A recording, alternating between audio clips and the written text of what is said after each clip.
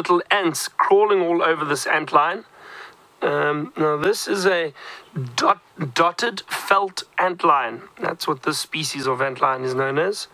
Um, Palpares sobrinus. Now, my Latin, my Latin is a little bit rusty. I did do Latin at school, believe it or not.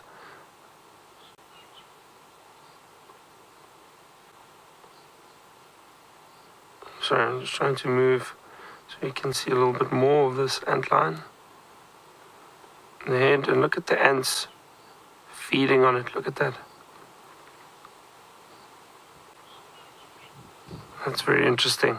So obviously this antlion is dead. I don't think they've got a particularly long lifespan. I'm not exactly sure how long it is, but I think once they turn into the this flying antlion, they basically are made to mate and then eventually they die off.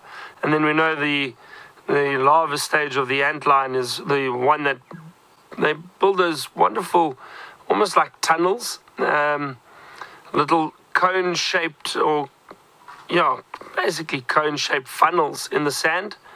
And they try and trap insects that walk through.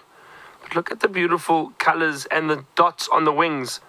You can understand why it's called a dotted felt antlion because of all those patterns over there be so careful with how you move this.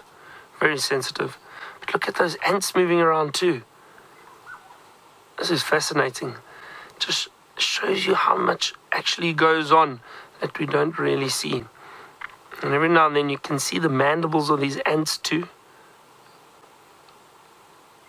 I'm fascinated by all the hairs. I mean, if you look at the antlion, you don't see it, but look at the hairs on the wings, those sharp little spikes on the wings and um, and and the hairs around the body really is fascinating.